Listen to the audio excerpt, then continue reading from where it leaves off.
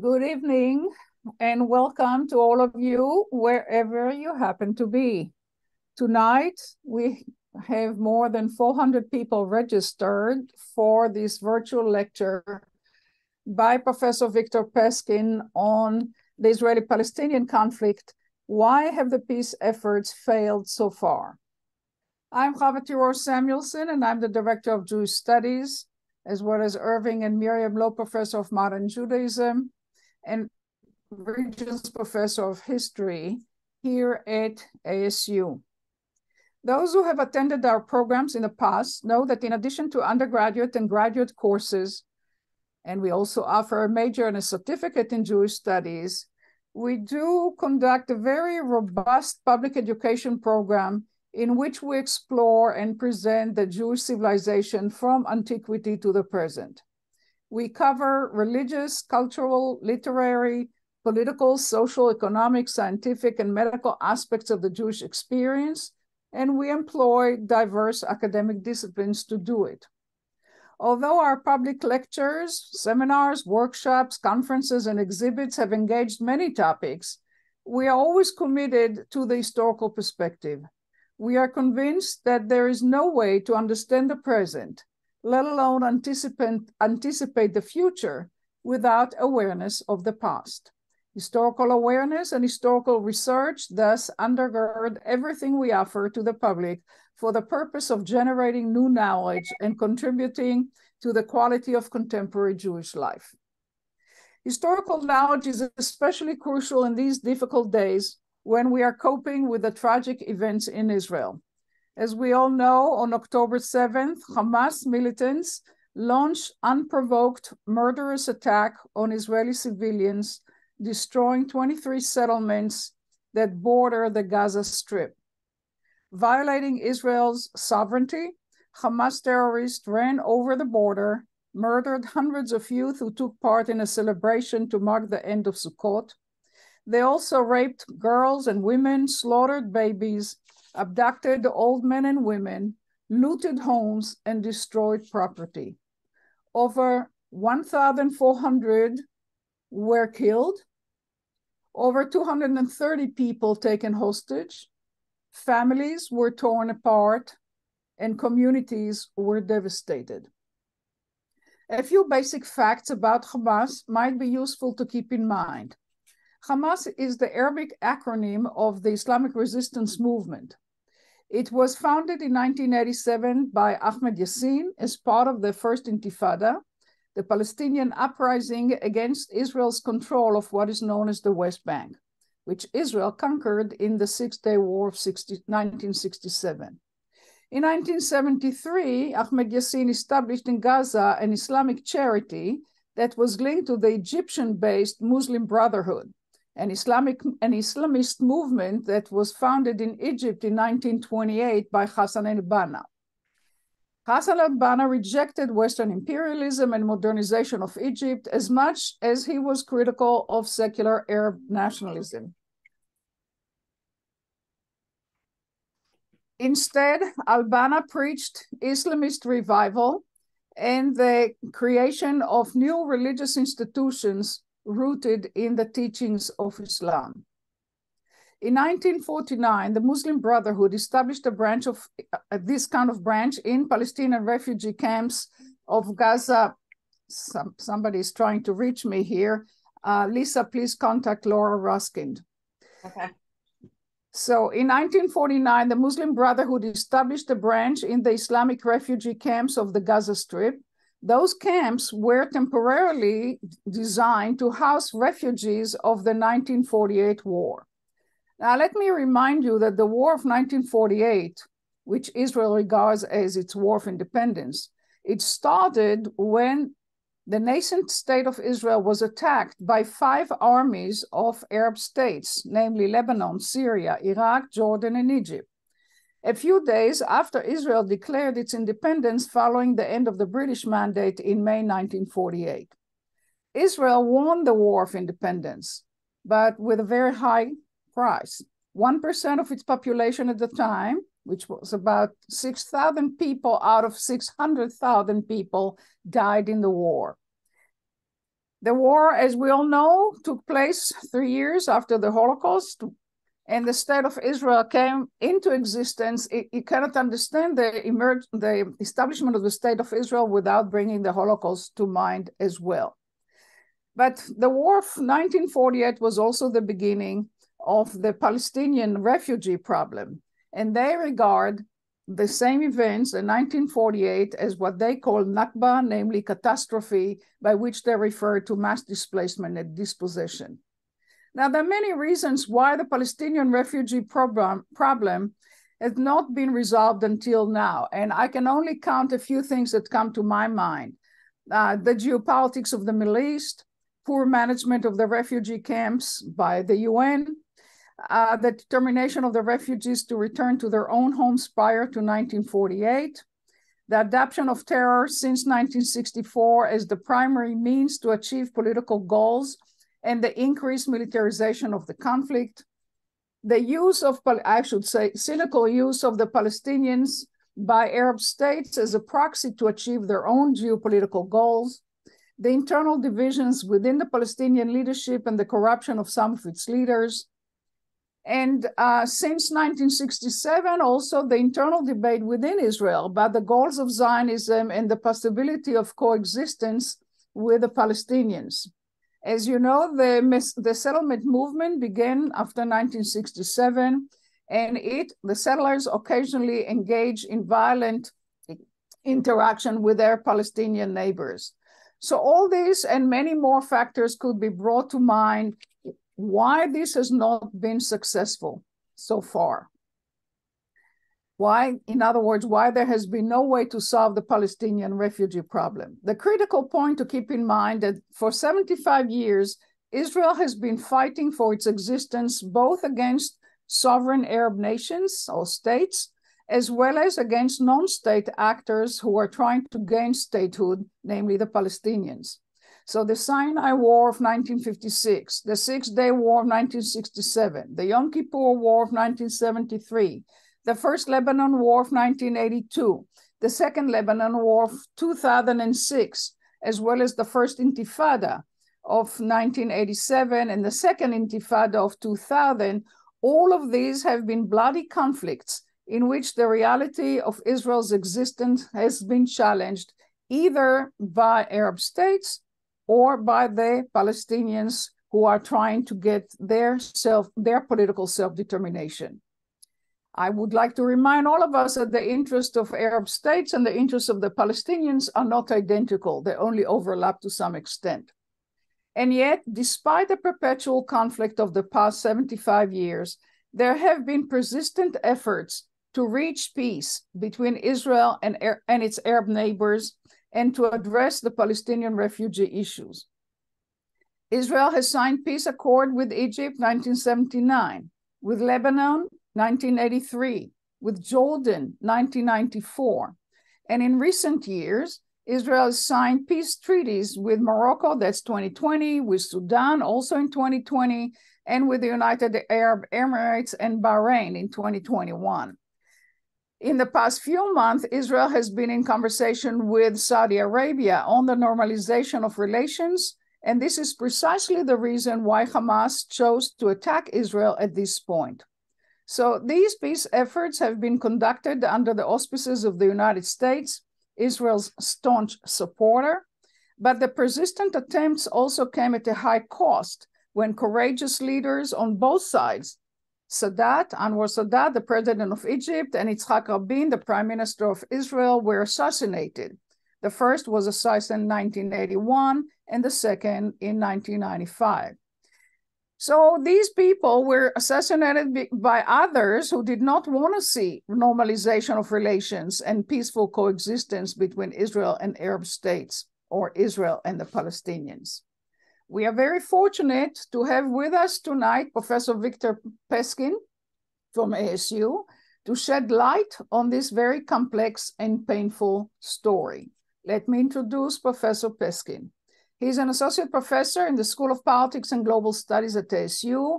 He received a PhD in political science from UC Berkeley, and his scholarship pertains to the intersection of international relations, comparative politics, and human rights. His research and teaching examine the politics of the contemporary international criminal tribunals and their contentious relationship with states who are that are implicated in war crimes and genocides. Professor Peskin is the author of Rwanda and the Balkans, Virtual Trials and its Struggle for State Cooperation that came out by uh, University of by Cambridge University Press in 2009 and he's the author of various essays that appeared in many um, distinguished journals in his field. So before he starts with his presentation, I would like uh, all of us uh, to pay attention to one thing. We are committed to understanding this complex history of the conflict, and we want to do so in a very civil manner that respects divergent views and conflicting interpretations. Please place your questions in the Q&A function at the bottom of the screen, and since we have uh, a lot of people, we probably won't be able to accommodate all of us. We'll do our best uh, to uh, um, address as many questions as we can. And now, Professor Peskin, the screen is yours. Hava, thank you very much. And thanks to all of you, over 200 um, who are here tonight. And special thank you to the Center for Jewish Studies for conceptualizing and organizing tonight's event. Several weeks ago, when Hava contacted me to invite me to participate in this event, I hesitated. And I did so for several reasons. First, it's been a long time, almost a decade, since I've really been immersed in studying and teaching about the Israeli Palestinian conflict. And second, as we all know, this conflict and this war is so fraught, so complex, and so confounding Discussions about the conflict and the war are filled with metaphorical landmines to such an extent that language itself, as well as expressions of empathy, have become landmines. Consequently, many people within and far beyond the university setting feel it's wiser to avoid the topic altogether. But when a conversation becomes a landmine, then understanding the conflict and envisioning a way out of this conflict certainly becomes impossible. So, yes, I could have said no to the invitation, just as all of you could have said no. But it's important that we are all here tonight. This month, the world has witnessed, and the people of Israel and Gaza have lived and died through some of the worst violence to convulse the region in the last century. The latest war, as Hava, and as we all know, start, started with a surprise attack by Hamas, a horrific attack on 23 Israeli communities in southern Israel, which led to the massacre of more than 1,400 people, most of whom were civilians, many elderly, many children, babies included. Um, Hamas, whose charter calls for the destruction of the state of Israel, also has kidnapped what appears now to be a higher number 239 Israelis and foreigners. The New York Times calls the situation the world's most complicated hostage crisis in recent memory. Moreover, the October 7 attack represents the single greatest loss of Jewish life on any day since the Holocaust ended 88 years ago. An Israeli major general described the grim scene of slaughter at Kfar Aza, one of the border communities attacked by Hamas, in the following way. This is quoted from the New York Times in an October 10th article. It's something I never saw in my life, something more like a pogrom from our grandparents' time. The Hamas attacks have been followed by an unprecedented Israeli military assault against Hamas in the Gaza Strip and in the last days, the start of what appears to be a major ground offensive. As part of its bid to destroy Hamas, the Israeli Defense Forces ordered a complete siege of Gaza, cutting off fuel, water, and food. More than 1 million Gazans, today the estimate from the UN is 1.4 million, of uh, a total population in Gaza of between 2.1 to 2.3 million people have been displaced and the health system, according to the UN and the World Health Organization, is on the brink of collapse. The Hamas run Gaza Health Ministry estimates that more than 8,000 people have been killed in the bombings. This humanitarian crisis in one of the world's most densely populated areas has far exceeded the, has far exceeded the magnitude of the crises in Gaza sparked by the previous wars fought between Israel and Hamas since 2008. The war has also sparked intense debate on college campuses, in the UN Security Council, and elsewhere regarding the legal, moral, and strategic implications of the ongoing fighting. Prominent international human rights organizations have condemned Hamas attacks, categorizing them as war crimes and even crimes against humanity. Israel's attack and the siege itself have also been criticized by human rights bodies, including by the European Union High Representative for Foreign Affairs, Joseph Borrell, as violating international law. There has been some humanitarian aid allowed to enter through the Rafah boarding crossing, but international officials say this is only a trickle of what is needed for the civilian population. Israel defends its offensive by citing its legal right to self defense and by arguing that its offensive abides by international law and follows the rules of proportionality. The Israeli government in this war, as in others, blames Hamas for establishing command centers in hospitals and in other civilian installations. This, says Israeli officials, is a cynical strategy Hamas deploys to use Gazans as human shields, which itself is a violation of international law, in order to direct international outrage at Israel when civilian casualties occur. Western states, and especially the US, have strongly backed Israel's offensive, but have also underscored the importance of Israel limiting civilian casualties and following international law the question of civilian casualties and the laws of war more generally are being closely scrutinized and is becoming an aspect of the conflict itself. Just this weekend, International Criminal Court Chief Prosecutor Karim Khan, on a visit to the Rafah cro- border crossing at the Gaza Egypt border, announced that his office has initiated an investigation into alleged violations of international humanitarian law in Israel, Gaza, and the West Bank since October 7. And finally, the crisis has spilled over to the West Bank, which falls under partial Israeli occupation and under the partial control of the moderate Palestinian Authority. Since October 7, more than 100 Palestinians have been killed, including some by extremist Israeli settlers. The deteriorating situation in Israel Palestine now threatens a wider war with Syria the Iranian backed Hezbollah militia in Lebanon, and with Iran itself. This is a grim summary of where we are today. But the purpose of my talk is to look back, which I hope will form a basis for beginning when the time is right to look forward. My aim tonight is twofold. First, to provide a brief overview of the long arc of Israeli Palestinian conflict.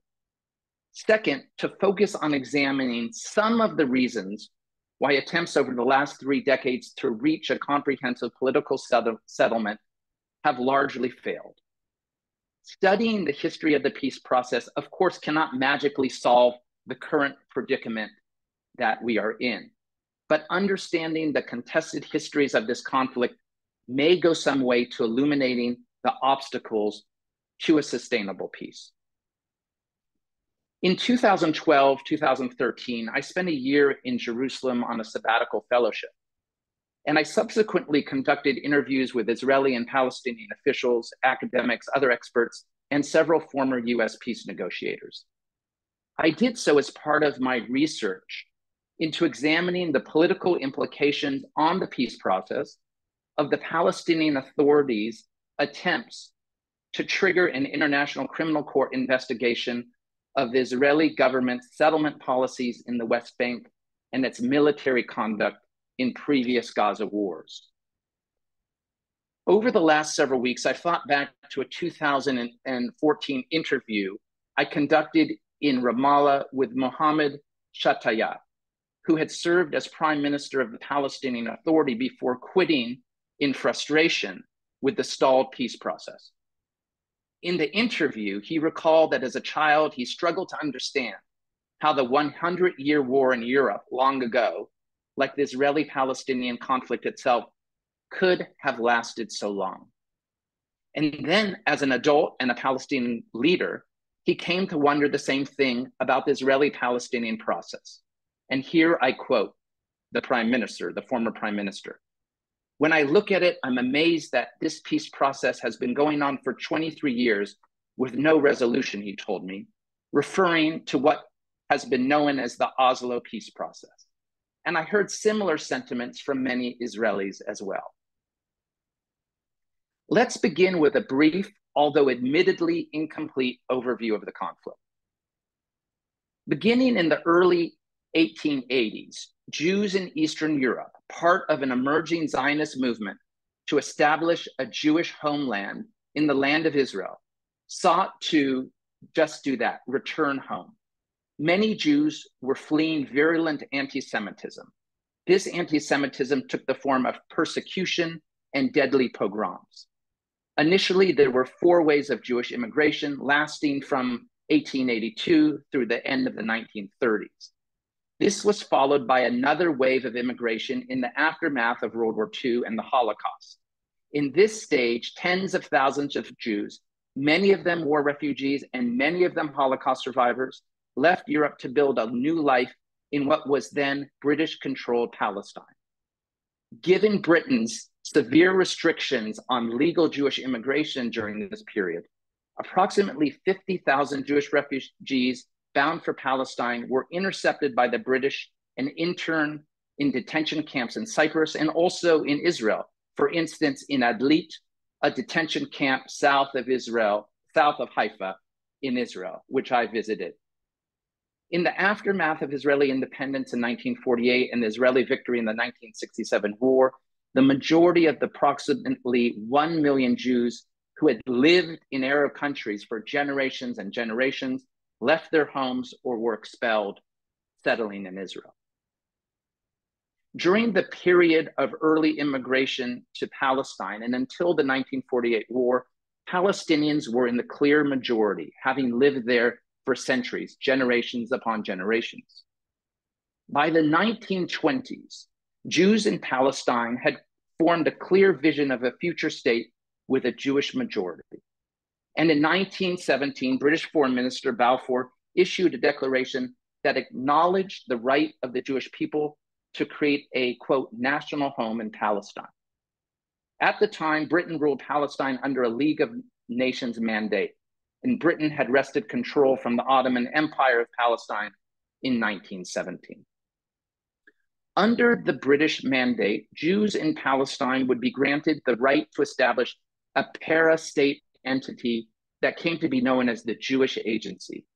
This entity formally cooperated with the British and was entitled to some level of diplomatic representation in the League of Nations. However, the Palestinians, who also developed a state of their own, did not obtain a similar representative leadership body under the auspices of British rule. The British did offer the Palestinians such a para-state representative institution if they would accept the British mandate and the terms of the Balfour Declaration. The Palestinians rejected these terms. Now, in 1936 to 1939, there was the Arab Revolt, which constituted a major Palestinian uprising against British rule, as well as Brit- the British support for a national home for the Jewish people. Britain's eventual suppression of the revolt greatly weakened the Palestinian movement for self determination. The crushing of the rebellion and the failures of Palestinian leadership as well as the lack of Palestinian state structures, would come later in the 1948 war to undermine Palestinian prospects for a state of their own. This analysis is detailed further by Columbia University professor Rashid Khalidi in his book, The Iron Cage The Story of the Palestinian Struggle for Statehood. In the aftermath of the Arab Revolt and with a looming war in Europe, Britain felt the need to provide concessions to the Arabs of Palestine. The so called 1939 White Paper pledged to address two long standing Palestinian demands limiting Jewish land purchase and limiting Jewish immigration. The White Paper also constituted a major concession to Palestinians, by providing in the future for an independent Palestinian state and placing a Jewish national home within that state rather than granting the Jews of Palestine a fully independent state of their own. The white paper was strongly opposed by Jewish leaders who viewed it as antithetical to their own hopes for statehood. Some moderate, prominent Palestinian leaders advocated for their acceptance of the white paper, while many Palestinian rebel fighters, who had been rebel fighters in the Arab revolt, opposed the British proposal. In the end, Palestinian leaders rejected the white paper, a decision in Khalidi's view that despite, quote, its ambiguity on key provisions, did not prove advantageous to them, that is, to the Palestinians. So this appeared to be, although not a perfect compromise by any means, and there was some doubts among Palestinians about the trustworthiness of this British proposal in the white paper, it did seem to be an opportunity to resolve or at least meet some of their own uh, desires to establish a state of their own. Um, even well before the late 1930s, it was apparent that the quest for a Jewish state came in direct conflict with a parallel Palestinian push for a nation state. So the genesis of the Israeli Palestinian conflict derives from two peoples seeking nation states of their own in the same geographical space. In the 1940s, a concerted guerrilla movement of several Jewish underground organizations focused on driving the British out of Palestine. This is in the aftermath of World War II. By early 1947, this campaign against British rule proved successful, leading Britain to announce its intention to leave, to quit Palestine. In June 1947, a UN commission visited Palestine, and two months later, the commission determined that the best course of action was to divide Palestine into two states rather than having all Jews and Arabs live together in a single state. And now um, I am going to show a slide. Um, this I will explain presently. On November 29, 1947, the United Nations General Assembly adopted Resolution 181, authorizing the creation of a two state solution on the territory of British Palestine that lay to the east of the River, west of the Jordan River. The so called UN partition plan allocated approximately 43.5 53% of the territory comprising present day Israel, Gaza, and the West Bank for a Palestinian state. And meanwhile, Israel would be granted 56.47% of the territory. Jerusalem would be governed by the UN Trusteeship Council, with Jews and Arabs being guaranteed access to religious sites and minorities remaining in either state being assured of fair treatment.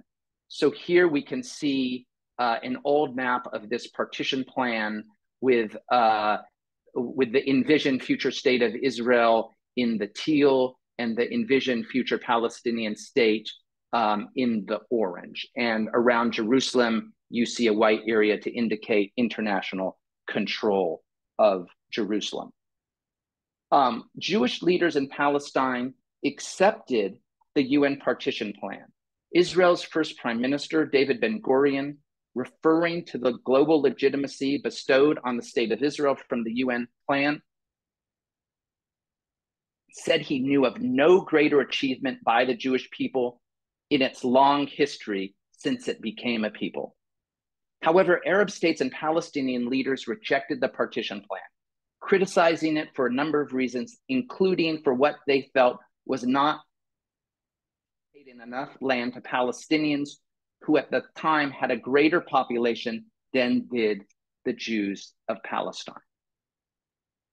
Six months later, in May 1948, the British left Palestine.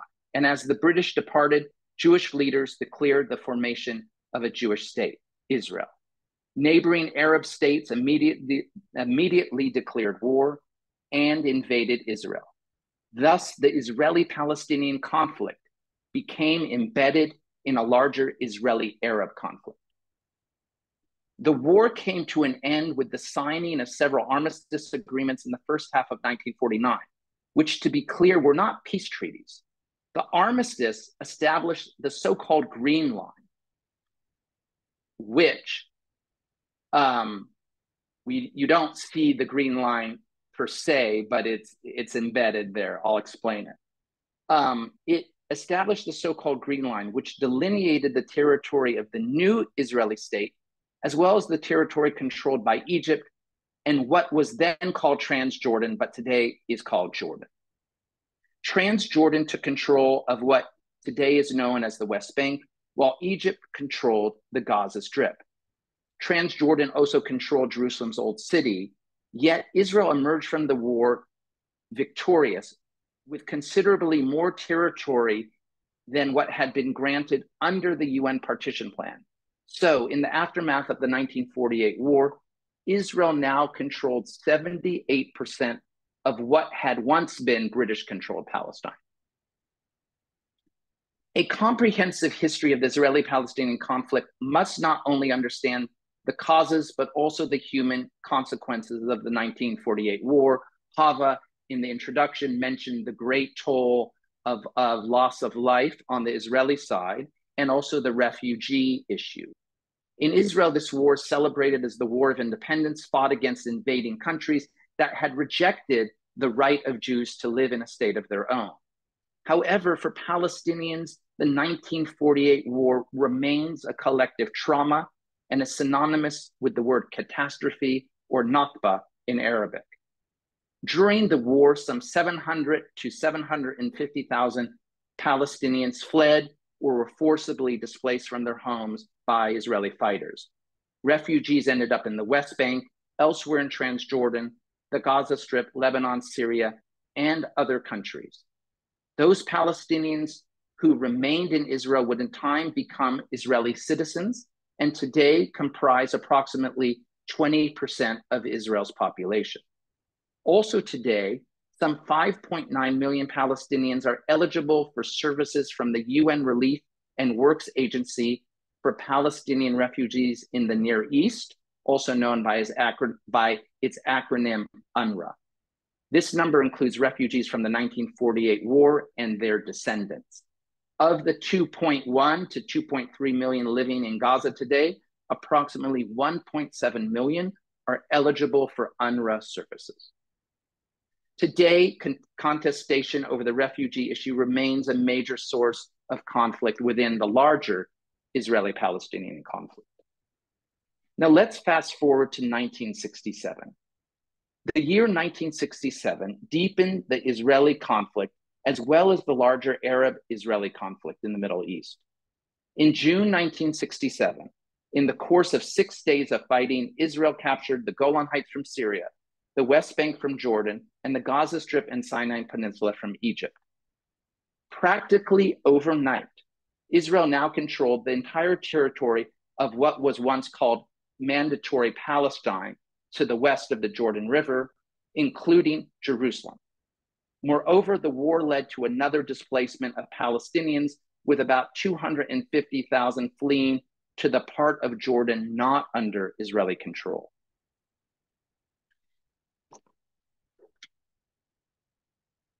So here is a map that delineates what is part of Israel proper in the white and what was uh, land conquered in the beige. The Israeli the Israeli military victory turned Israel into an occupying power over Palestine power over Palestinians living in the West Bank as well as Gaza. Because of this, the war would radically transform the nature of the conflict, as well as parts of the, the world would regard this conflict. This is explained quite clearly by Baruch Kimmerling and Joel Migdal in their book Palestinians, the Making of a People. After 1948, the two scholars write, the conflict had seemed largely international. The armistice agreements, continuing border tensions, the Suez War in 1956, all these involved sovereign states. From this perspective, both to its own Jewish citizens and to a larger world public, Israel seems small and beleaguered, surrounded by much larger, hostile states that refuse to accept its right to exist. However, after the 67 war, observed Kimmerling and Migdal, quote, the focus gradually shifted back to the communal problem as in the days of the British Mandate. That is, two peoples, Jews and Palestinian, claiming the same piece of soil. Israel's image thus shifted, much to the frustration of its supporters, from beleaguered to all powerful. Under the law of international armed conflict, victorious militaries are allowed to occupy foreign territory, but for an undefined interim period. That is the intention. However, the occupying power is bound by certain rules. One such rule, codified in the Geneva Conventions, prohibits the occupying power from moving their own citizens into occupied territory. The principle behind this prohibition and the UN Charter more generally is to prevent states from altering international borders through military conquest. While Israel annexed the Golan Heights in 1981, it has not made a formal declaration of sovereignty over the West Bank or Gaza. However, since the 1967 war, the question of Israeli settlement building in the West Bank has been a major source of contestation, not only between Israelis and Palestinians, but also between Israel, the United States, and the international community. And settlements is something we'll talk more later on in the presentation as well. Not long after this war, the legal counsel of the Israeli Foreign Ministry wrote an internal memo advising Israeli officials that settlements in captured territory violated international law, specifically the Geneva Convention. That advice was not heeded, as described by Gershom Gorenberg, by Gershom Gorenberg in his engrossing book, The Accidental Empire Israel and the Birth of, of the Settlements, 1967 to 1977. The settlement movement, driven by religious settlers who have an expansionist vision of the state of Israel, has been to varying degrees supported by a range of dis- different Israeli governing coalitions. And over time, the settlement movement has become an increasingly powerful force in Israeli politics. Even as the 67 war and its aftermath deepened the Israeli Palestinian conflict as well as the wider Israeli Arab conflict, it also held seeds for its resolution. In November 1967, the UN Security Council adopted Resolution 242, which would later become a starting point for peace negotiations. Israel supported the resolution because it supported its right, quote, to live in peace with secure and recognized boundaries free from threats or acts of force. Egypt, Jordan, and Syria eventually backed the resolution because it formed the basis of Israel ending its military occupation of territory captured in the 1967 war. Yet in October 1973, war erupted when Egypt and Syria launched a surprise attack on Israel. Israel would go on to win that war and retain control of the Golan Heights and the Sinai Peninsula. In the aftermath of this 1973 war, the UN Security Council adopted Resolution 338, which once again implicitly recognized Israel's right to exist within its post 1948 borders. The first major breakthrough in the larger Israel Arab conflict occur when, occurred with Anwar Sadat's historic visit to Jerusalem in 1977, which one former US diplomat has called, quote, one of the most audacious, audacious acts of statesmanship in the last century. The subsequent negotiations, brokered by our own US President Jimmy Carter, led to the famous Camp David Accords and the 1979 settlement that established diplomatic relations between Israel and Egypt based on a peace for land formula. In essence, Israel relinquished the Sinai Peninsula in exchange for peace with Egypt. The Gaza Strip, which had been under Egyptian control between 1948 and 1967, remained under Israeli occupation. The Camp David Accords pointed to the possibility that Israel could make peace with its other neighbors and perhaps one day with the Palestinians themselves. The story of the successful Camp David negotiations is compellingly told in Lawrence, Lawrence Wright's excellent book, 13 Days in September The Dramatic Story of the Struggle for Peace. Camp David also pointed to two crucial, crucial factors or ingredients for successful peace negotiations. And this is really important. The first ingredient is having courageous leaders capable of doing two things making bold and controversial compromises at the negotiating table, and then defending these compromises by campaigning for peace vis a vis skeptical and often hostile domestic constituencies. The second ingredient is found in the role of the United States or any other powerful international actor in a position to serve as a credible mediator. And particularly, Camp David underscores the importance of a third party to persuade, pressure, and cajole antagonistic parties to make important concessions. The political representatives of the Palestinian, the Palestinian Liberation Organization, or PLO, which was created in 1964, rejected UN Security Council Resolution 242. And they did so in part because the resolution did not include any stated reference to Palestinians or to a future Palestinian state. So while Resolution 242 did point the way for Israel to relinquish the West Bank and Gaza, it made no specific promise to the Palestinians.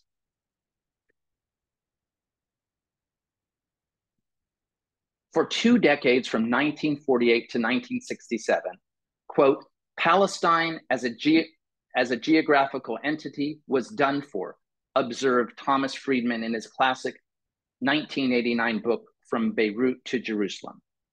Indeed, at the time, the prospects of a Palestinian state seemed very remote. I'm referring to this 19 year period from 1948 to 1967.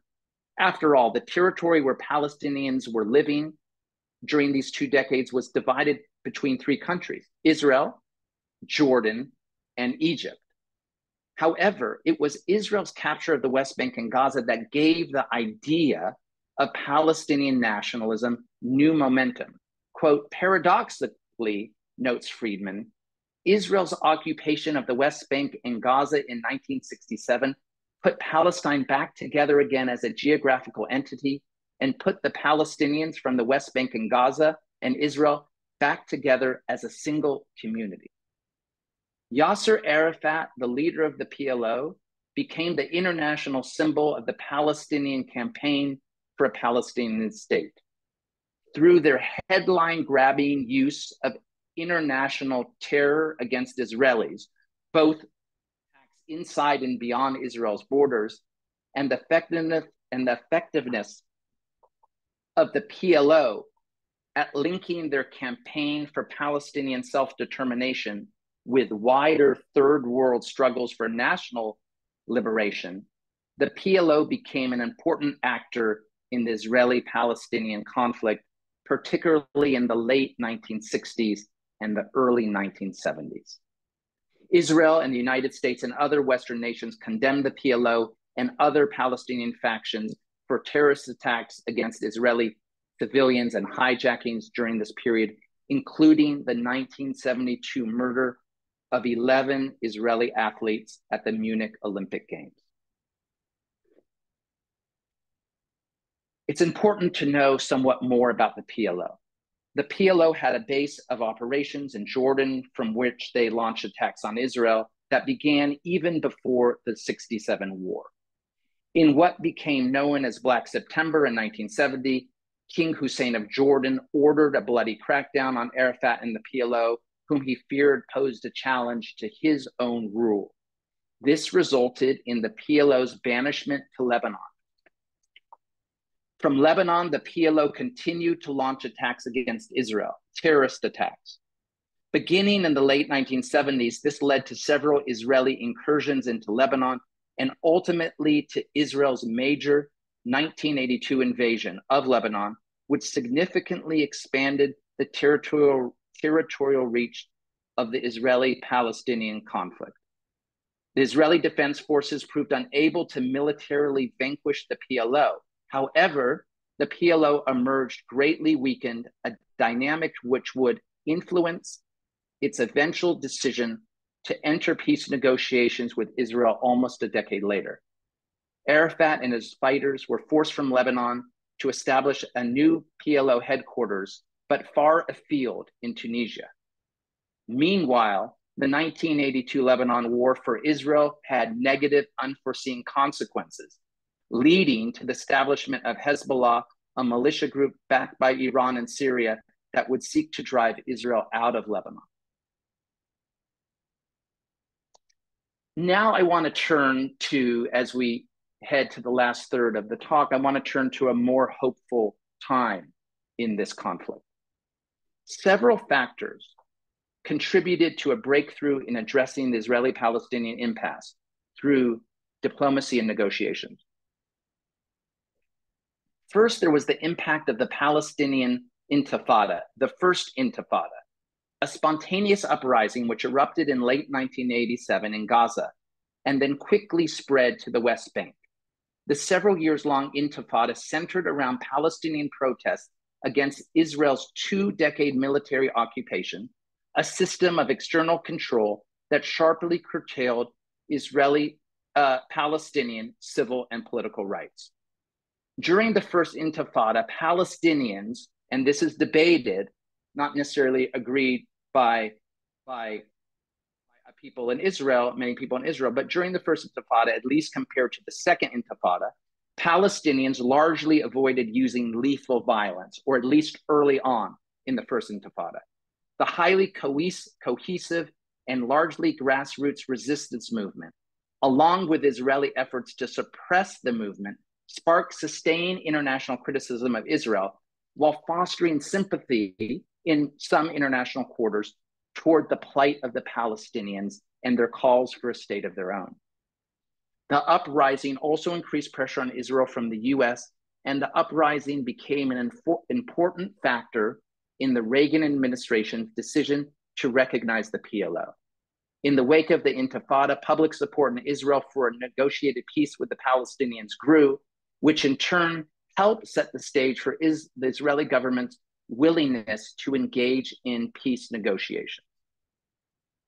Another factor that set the stage for negotiations occurred with the PLO's 1988 Declaration of Independence. This declaration signaled Palestinian acceptance of Security Council resolutions 242 and 338, and therefore it signaled Palestinian acceptance of Israel's pre 1967 borders on 78% of the territory of what had been British Palestine. This, in turn, set the stage for the PLO's formal acknowledgement of Israel's right to exist. Whereas the PLO had long claimed all of the ter- territory of what had been British Palestine, it now signaled its acceptance, and I'm repeating it because it's very significant or appeared to be at the time. The PLO now signaled its acceptance of a Palestinian state in the West Bank and Gaza. The hoped for Palestinian state for Palestinians, if it ever came about, would comprise 22% of what had been British Palestine. That is less than half of the approximately 45% of the territory that had been on offer with the 1947 UN partition plan that had been rejected. Under the auspices of US Secretary of State James Baker, the US in 1991 initiated a negotiation process in Madrid where representatives from Israel, Egypt, Syria, Lebanon, and a joint Jordanian Palestinian delegation sought to establish a diplomatic opening for future peace talks. For the first time, Palestinians were seated at the negotiating table with their Israeli adversaries. And then new developments. In the early 1990s, Itzhak Rabin came to power seeking to implement an election pledge to resolve the worsening situation between Israel and the Palestinians in the West Bank and Gaza that arose during the contentious First Intifada. Now, if, if Israelis had, if Israeli leaders had an incentive to continue talking peace, So did the PLO's Arafat.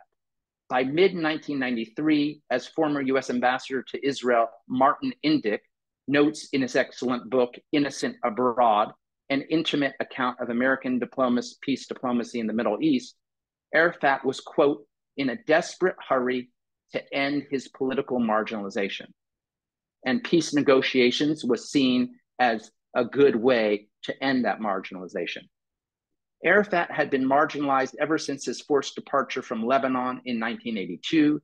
Moreover, he was struggling to keep his hold over power in within uh, between Palestinian factions, especially given political competition from the Islamic militant group Hamas, which formed in Gaza in 1988.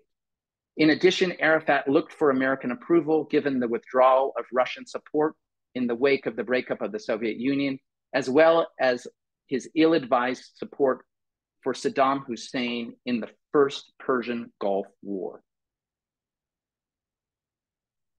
Back channel talks between Israeli and Palestinian negotiators carried out secretly in Norway produced the September 1993 Oslo Agreement that we all know about. The Oslo Accords were celebrated as the most hopeful moment in a decades long conflict. The image of Israeli prime minister, let's see if we're, uh, oh, uh, this was a map early on of the of post Egypt um, uh, uh, peace agreement with Egypt, and we'll we'll go back there. Uh, excuse me for that interruption. Um, so the image of Israeli Prime Minister Rabin and PLO leader Arafat shaking hands in front of the White House, with President Clinton standing between them with a gentle hand resting on each of their arms, an image that all of us have probably seen, convinced many that Oslo's promise for a final settlement would in fact take place and that the United States would guarantee its implementation. The Oslo Agreement stipulated establishment of an elected Palestinian interim self-government authority in the West Bank and Gaza Strip for a period not to exceed five years. Thus, a two-state solution was to be implemented by the end of the 1990s. The text of the Oslo Agreement recognized that the time had arrived for both sides, quote, and this is quoting the agreement, to put an end to decades of confrontation and conflict, recognize their mutual legitimate and political rights, and strive to live in peaceful coexistence existence and mutual dignity and security. At the signing ceremony, Rabin declared the moment for peace was at hand. And this is what he said Let me say to you, the Palestinians, we are destined to live together on the same soil in the same land, he said, before adding this famous line enough of blood and tears, enough. Almost immediately, the threat to the Oslo Accords and to the peacemakers themselves became apparent. Hamas denounced the agreement, and many on the vocal far right of the Israeli political spectrum likened the prospect of a Palestinian state to a betrayal of an expansionist vision of Israel. That is, an, that is an Israel extending significantly into the West Bank. There was also concerns, to be sure, about what a Palestinian state would mean for the security of Israelis themselves within Israel proper. Um, by the time Rabin returned home from Washington from the signing ceremony, Several Israeli soldiers in Gaza had been killed in Hamas ambushes, a foreshadowing of Hamas's use of terrorist attacks to scuttle the peace process and undermine their Palestinian rivals, their moderate Palestinian rivals. Within Israel, a young pro settler ultra nationalist in his 20s regarded Rabin's support for Palestinian autonomy a form of treason. The rising extremist threat within Israel to the unfolding peace, process is documented in Dan Ephron's searing book, Killing a King, the assassination of Yitzhak Rabin and the remaking of Israel. Two years later, in November 1995, this man assassinated Rabin just after a speech he gave to tens of thousands of pro peace Israelis who had gathered in front of the municipality building in the large plaza in front in a rally.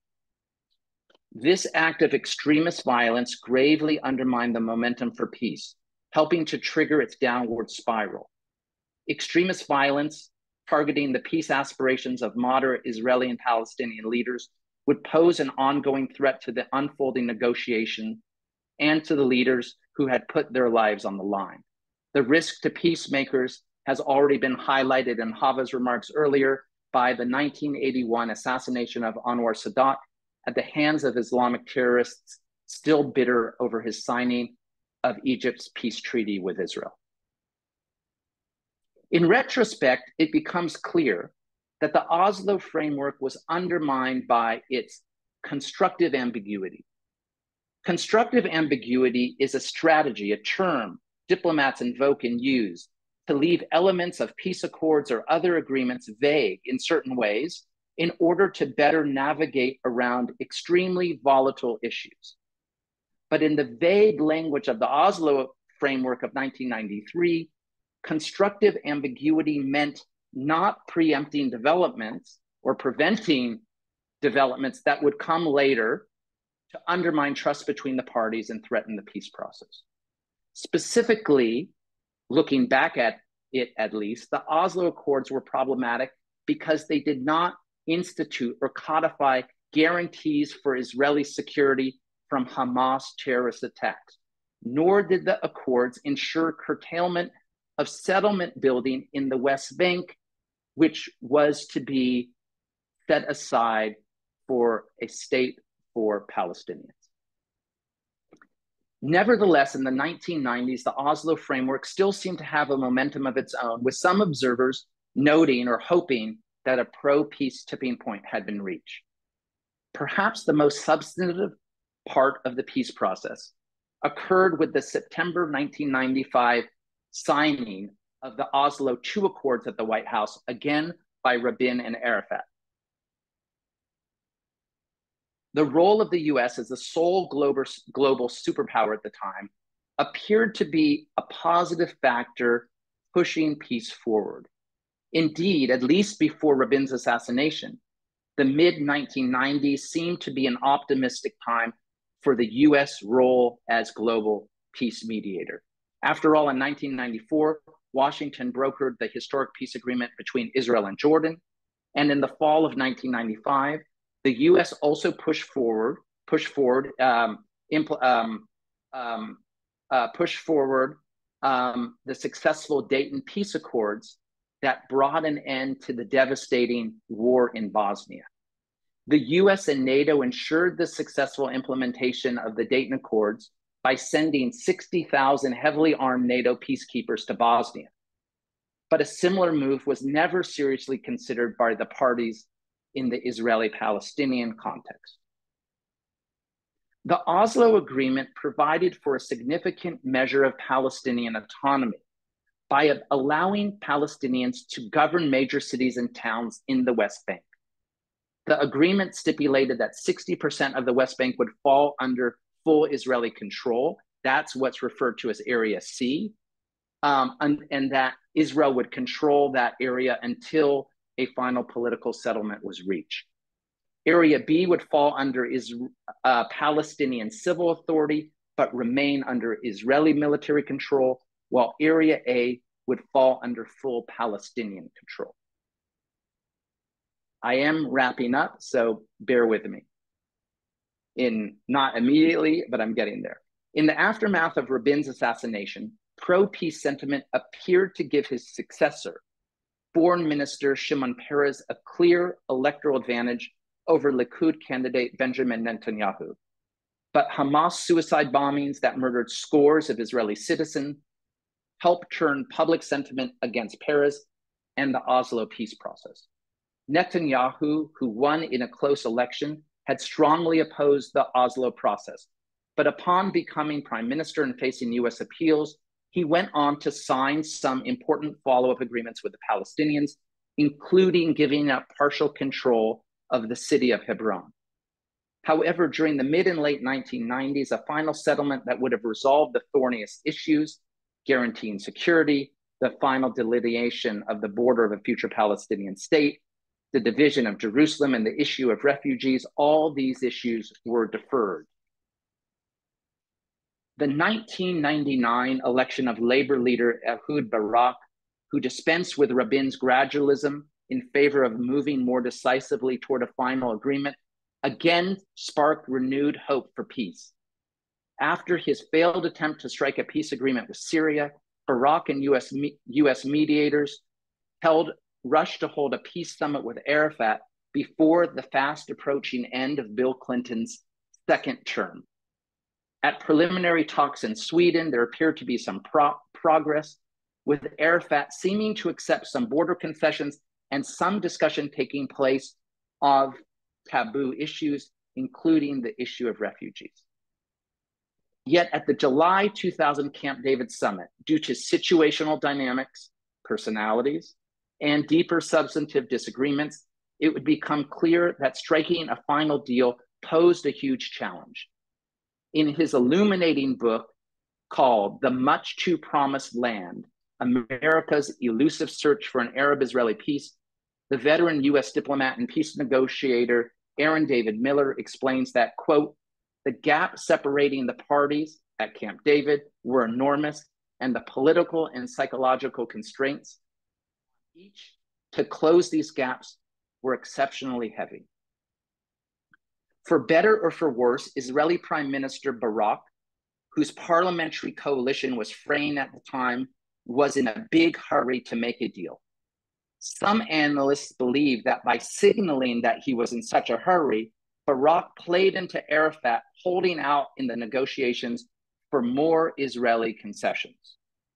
In his account of the Camp David talks, Aaron David Miller observed, and he was present at these talks, Aaron David Miller observed that the that Barak's urgency, quote, caused his red caused his red lines to turn pink time and again, signaling a weak and wily Arafat that he could get more from the Israelis simply by holding out for more.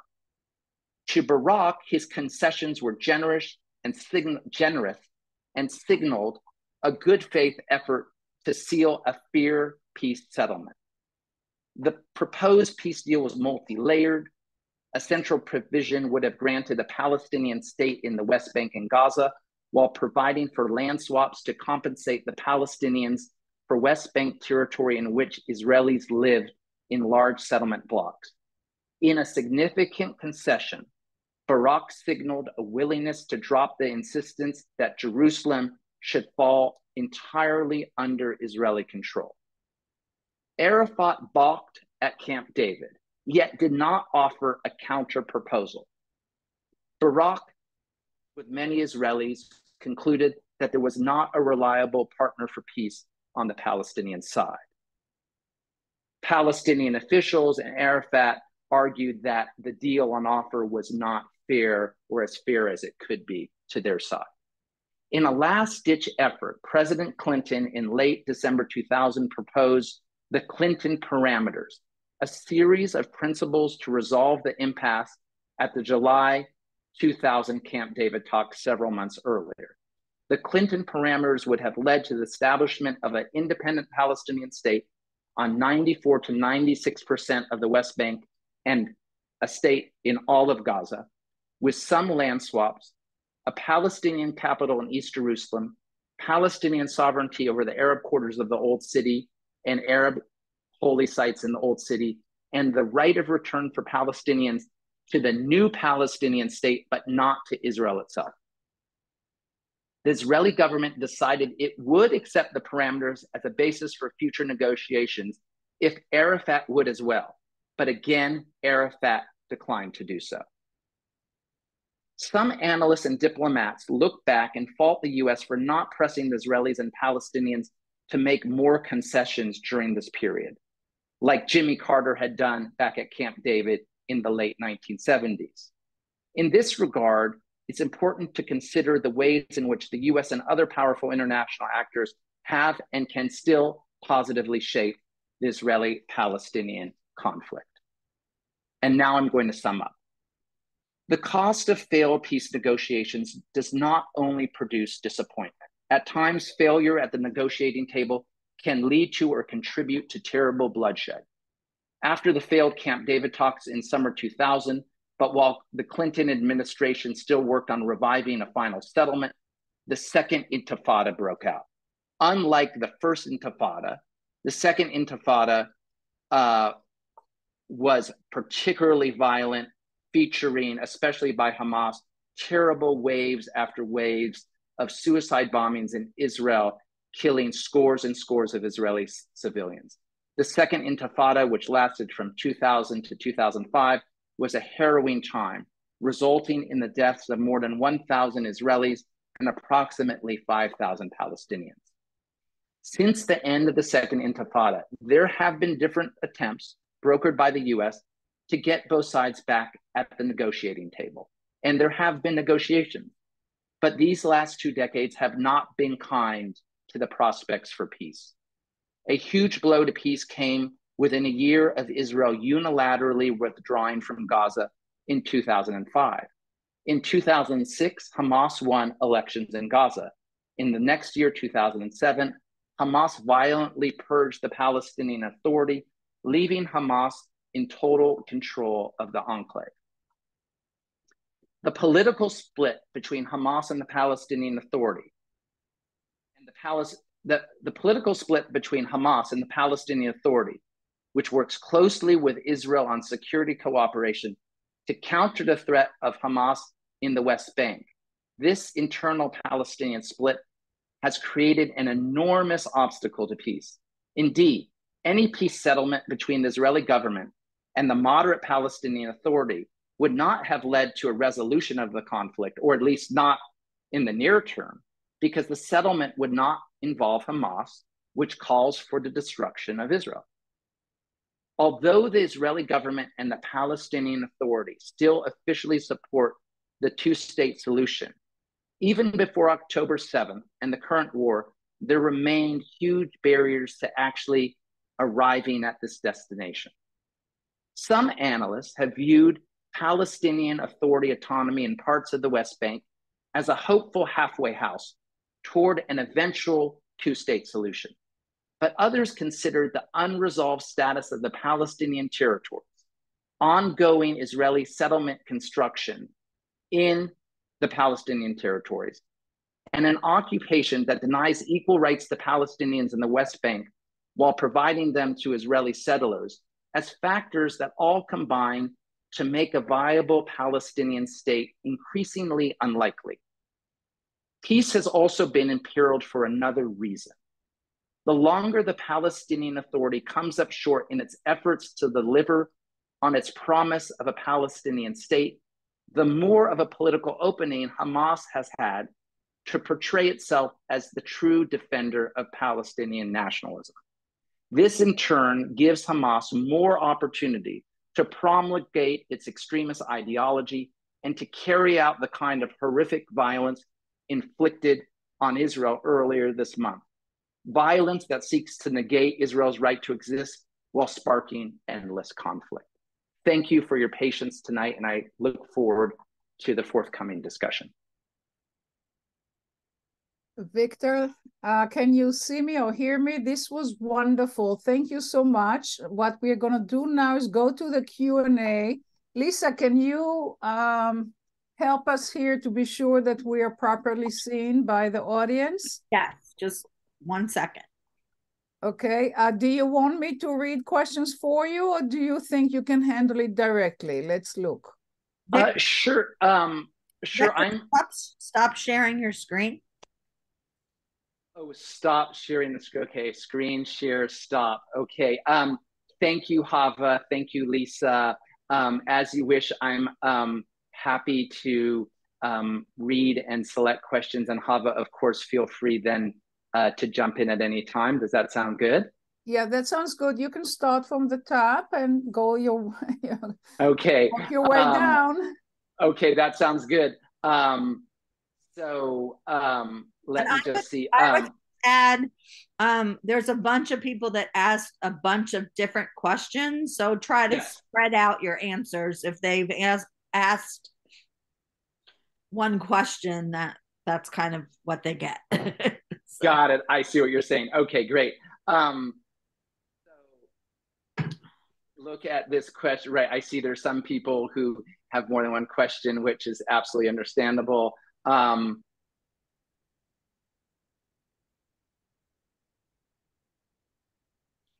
okay, so um, let me just, um, I'm just looking over at them. Um, um, let me just go to one of the early ones. Um, let me go to, hold on just one second, bear with me, everyone. Uh, so um, I, I'm looking at David Cater's question that I, I think this is uh, in reference to the 1947 UN partition plan. Didn't this include current Jordan which is not shown on the map. Um, uh, I guess I wish that uh, David, we could talk directly just to clarify the question. Um, that I believe I Hava may know the full answer to the question. I believe that that this these that Transjordan under this plan would still exist as a country to the east of the Jordan River under the UN partition plan. Is that right? Yeah, I would say so. Yeah. Okay. Um, and then let's look at the question. I'll read it in case the audience can't see the question. What can the United States and other Israeli allies do to mitigate such conflict between Israel and Palestine? Military intervention, economic sanctions, political condemnation. Um, again, I wish we could speak directly. I'm um, I'm not sure if to interpret the question as what can be done to solve the larger conflict between Israel uh, and different Palestinian factions, or in the in the context of the war. I think that um, during during this very fraught moment, there's very little public discussion of reviving a two-state uh, solution to the conflict, although President Biden has mentioned that in recent days. Um, I think that um, you know returning to the Oslo framework is is likely going to be at least for the short, probably long term, uh, the default approach, uh, certainly by Western states, because this was a vision uh, that was set out uh, in the Oslo talks, and then also subsequently with the George Bush administration with the roadmap for peace. So there is, and with the Clinton parameters, you could still take the Clinton parameters off of the shelf and dust off the dust. And in theory, that could be the basis for continued talks. Of, of course, um, I'm not naive. I know that the current situation right now is a as a terrible one uh, for peace, but it's very important to to figure out a way to get there. There's a lot of discussions and critiques by analysts and others who say uh, that the two-state solution is dead uh, because of the lack of trust. Uh, there's also a lot of criticism as, of Israeli settlement building, issues of security, especially now in the wake of this terrible war and the terrible Hamas attack. So if the quest for peace and a two state solution seemed hard before, now it seems very unattainable.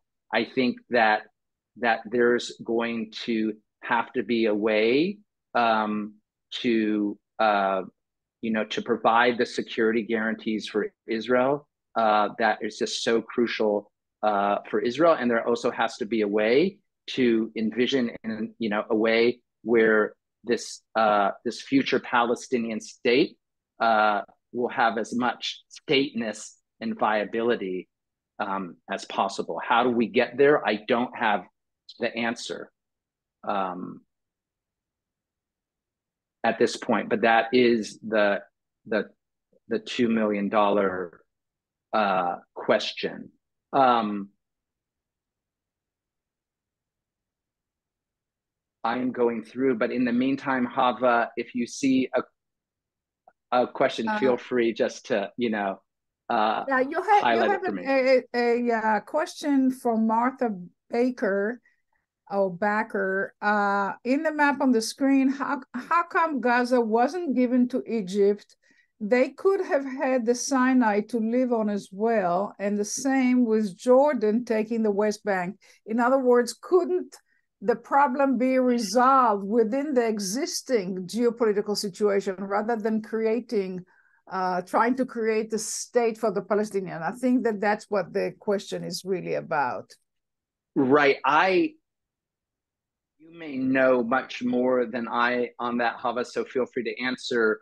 Uh, but um, um, I think one one important aspect, and I think I only understand one portion of a much more complex answer and question, is that um, the the idea, the vision, the desire for Palestinian self-determination, a state of their own that that would not be subsumed or a part of another state like Transjordan or Jordan or Egypt. Uh, the development of Palestinian consciousness, uh, especially after the 1967 war, but even dating back to the 30s and the Arab Revolt, I think a lot of that dates back to the desire and the campaign and the advocacy among people who saw themselves as, although Arabs, uh, you know, uh, uh, uh, who were distinctly Palestinian. But at one point, I don't know the story of Egypt, but at one point, King Hussein does relinquish a desire to take back the West Bank, right? So, in some other situation, you might see, and it's often the case where states don't want to relinquish territory that they once controlled, right? Often in international relations, states want to do all they can to take that territory but Hava, yeah, feel free yeah, to also no, add. I, I, yeah, I think I think that's exactly you you got it exactly right. I think the point here is to differentiate between Arab nationalism versus Palestinian nationalism. So those are two separate uh, processes. I think that there's a question that uh, Carl Goldberg raises to the same uh, to the same point uh, and I think that most, I should say, perhaps even all Arab states are not interested in helping the Palestinians or absorbing the Palestinians. So Palestinians cannot become citizens of Arab states where they, in fact, work or live for a long time. So there's a real rejection, including in Egypt, especially right now, a real rejection of Palestinian presence in those Arab states. So they're kind of uh, they have to take care of their of of their own uh, self determination uh, desire or, or or the impetus for self determination. They're not necessarily getting help from Arab states. So that's what complicates the story. Absolutely, absolutely. Um, we have a lot of excellent questions. Um, and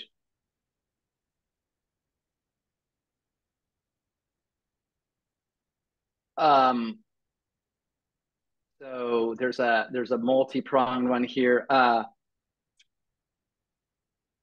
okay, there is um, there is a question uh, further down. How does that application of international law, Geneva Conventions, work between a sovereign nation and a terrorist group? Um, this is a complex question.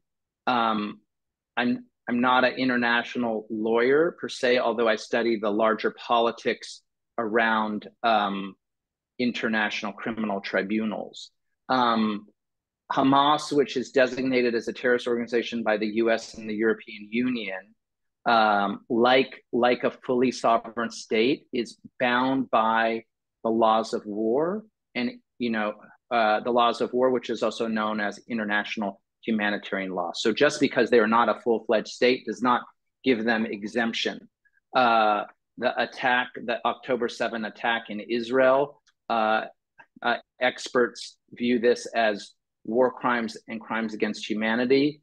Um, and um, using human shields, for instance, just because they are a non state actor or terrorist group does not uh, make them uneligible for investigation and prosecution for violating international law.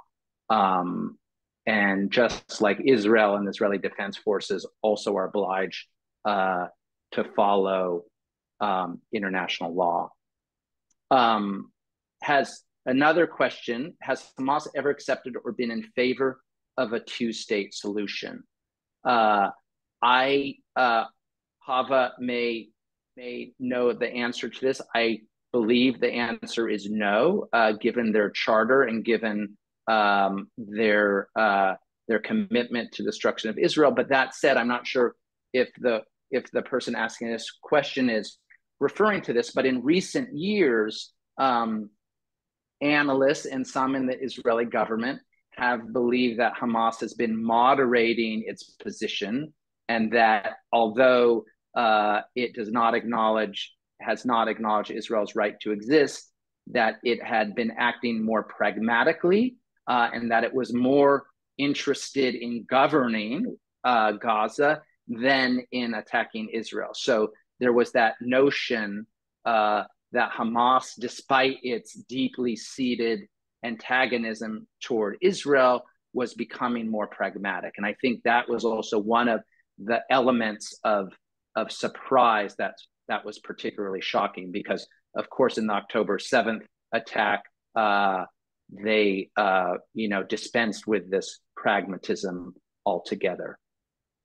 So on that point, maybe you can take the question by Carl Goldberg, who asks you, how can you justify calling the PA and Fatah moderate uh, when they have promoted pay for slay policy and have declared that they will never live in live in peace with Israel? So how do we interpret really what the other side is all about, uh, given the disparity between what so, they say, what they do, and so forth. I didn't hear one thing about how can we see, or how did I say that the Palestinian Authority is moderate if they if, if they promote re- a pay to slay? That's what pay to slay. Okay, quotation think, mark policy. That's how he. Okay, it.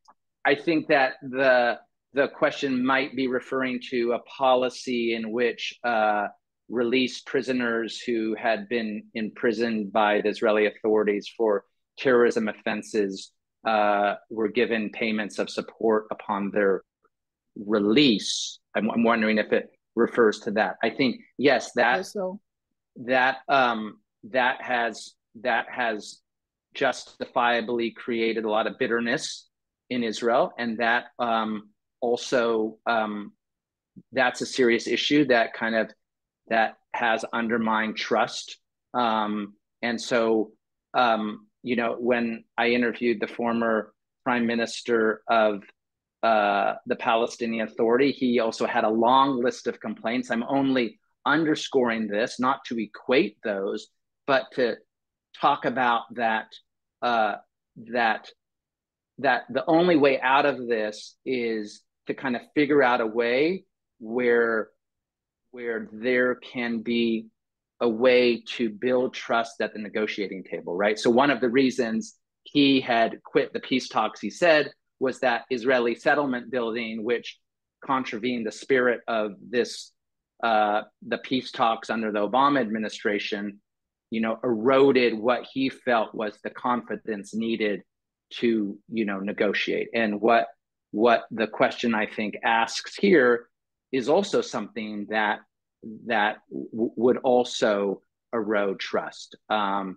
and I think that as there's there's a lot of um, uh, you know actions like this that have undermined uh, the negotiations. And so, how do we get to a point where both sides negotiate in good faith is a very key question. Um, I see uh, Stephen Batalden has a question, so I'd like to uh, read that. Tom Friedman from the New York Times has argued that Prime Minister Netanyahu has needed Hamas so as to undermine the authority of the Palestinian Authority and the idea of a two state solution. It may be too late to revive the two state solution, but is there some historical reality to Friedman's point? Um, this is an excellent and penetrating question that Steve poses. I have read some about that, but I have not not gotten to the bottom of it. So I, I want to just um, you know, be be judicious in my answer. But I think from analysts that I have read um, over the last several weeks and prior to that, there has been observation and criticism of the prime minister uh, Netanyahu for, you know, undermining uh, the authority and legitimacy of the Palestinian Authority. Um, and again, some of those, um, some of that might be recast by Israeli leaders as valid criticism of Palestinian Authority actions. So, for instance, earlier I referenced the International Criminal Court has begun an investigation. They actually began another investigation several years ago. Um, and my interviews with with Palestinian Authority officials and others really revolved around the Palestinian Authority's uh, kind of use and threatened use of trying to get the International Criminal Court in The Hague to start an investigation, right? Um, so the Israeli government has been strongly opposed to that. Um, and so, um, you know, there's a lot of, there has been, despite the very important ongoing security cooperation between the Palestinian Authority and Israeli security services, there's also a lot of mud being slung, you know, between uh, Israeli and Palestinian leaders. Um, and sometimes that might be done to undermine the legitimacy of the Palestinian Authority. Other times it might be done uh, in the view of Israeli officials to counter what they believe is undermining action from the Palestinian Authority. So, in the case of the Palestinian Authority's efforts to bring the ICC, the International Criminal Court, into this arena. Um, that's one example. But yes, I have heard, I have heard that critique, um, and I just need to understand that more uh, about trying to play off the different two main Palestinian factions against each other. Um, I so, think if there's any lesson uh, from the conflict. It's hard to draw any one lesson, but supporting the moderates is a very important lesson. Uh, moderates don't always do everything in a moderate way, uh, but the alternative uh, is extremism, and um, which is far worse.